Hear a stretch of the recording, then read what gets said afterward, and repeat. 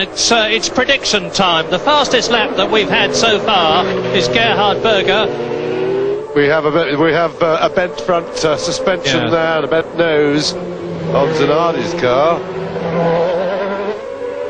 Not a very good day for Zanardi. He's already taken one Jordan into the wall and destroyed at least the suspension on the right side.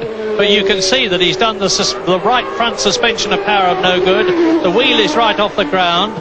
And that's what's making everything drag along because the car is totally out of balance now. Yeah, well now we're going to see a replay of what exactly happened and uh, didn't make it through the S there and uh, yes, they're not designed to to do that really, that sort of uh, rallycross effort. Quite quite spectacular though, good fun.